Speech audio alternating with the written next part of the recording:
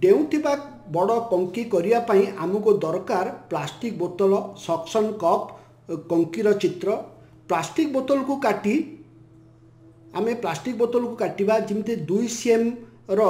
ଗୋଟିଏ ରିଙ୍ଗ୍ ତିଆରି ହୋଇପାରିବ ଦୁଇ ସିଏମ୍ର ରିଙ୍ଗ୍ ଭଲ ଭାବରେ ତାକୁ କାଟ ହଁ ବର୍ତ୍ତମାନ ସେ ରିଙ୍ଗ୍ର ଚଉଡ଼ା ଦୁଇ ସିଏମ୍ ହେଲା ବର୍ତ୍ତମାନ ସେ ରିଙ୍ଗ୍କୁ ঠিক সমান দুইটি অর্ধবৃত্তাকার ভাবে কাট বর্তমান সে অর্ধবৃত্তাকার শেষ মুন্ডরে রঙিন সেলোটেপকু লগাও ভাল করে রঙিন সেলোটেপকু লগাও বর্তমান সেই অর্ধাবৃত্তাকারকু ক্রস ভাবে রাখি তা মঝিরে গোটে কইচি সাহায্যে কণা কর এবং সে কণা ভিতরে গোটিয়ে সকসন কপকু ভর্তি কর